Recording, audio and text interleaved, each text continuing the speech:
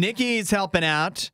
Uh, we've got her on the horn this morning. Nikki, I'm On on the the horn. horn. Sure, that works.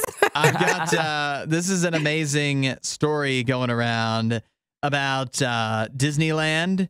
It is a so I mentioned this to Nikki off the air, and she seems to have.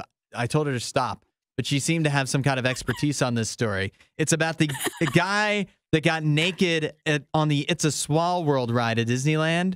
So I guess Yeah. you know you say naked guy, and D- Nikki's ears just perk up. I don't know. She must know the story Yeah, already. right. no, I saw the POV, so the point of view of the naked guy on the ride before he got undressed. And I guess I just didn't catch because that video went just as viral as his naked video. Mhm. But if you take a small world, you know, you're riding the boat along the ride, Mhm. there's a little walkway next to the water that's not in the water where like workers will walk.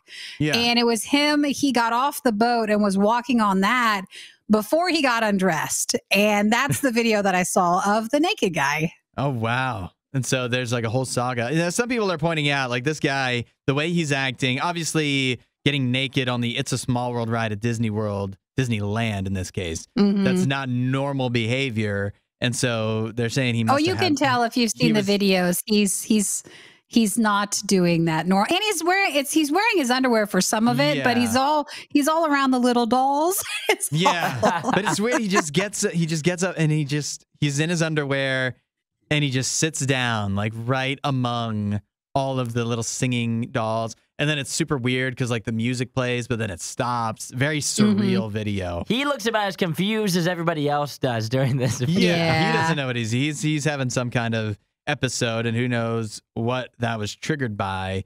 Maybe he just rode that ride too many times and it drove him insane, you know. But I, I will say, I think you got to give this guy his props. He's in good shape. He is shredded.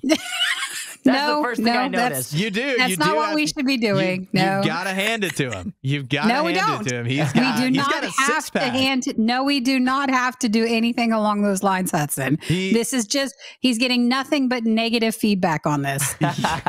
he uh he's in good shape, but he also like his hairstyle and stuff. He kind of looks like. Can I say this? Weird Al. Yep, a young Weird Yeah. Al. That's exactly what I was thinking.